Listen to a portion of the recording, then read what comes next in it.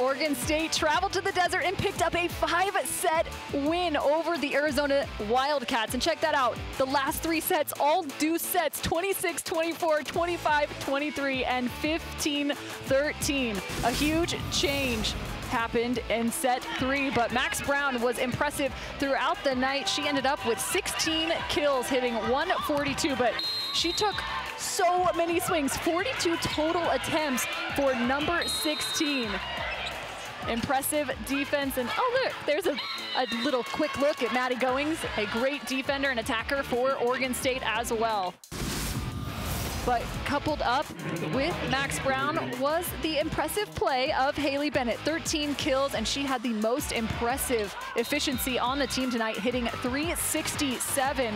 Just a great opposite. Number four moved the ball around. You're going to see attacks in the cross court. There's a shot off the high hands, and she also attacked down the line. Just great elevation from number four, Haley Bennett. And here is the final set. Look at Haley Bennett. She was ready to go. They wanted this one. And the final point for the Beavs at the hand of Max Brown. And celebration for Oregon State as they now have to face off against Arizona State on Sunday as the final stats hit the board. Cecilee Max Brown, there's her 16 kills.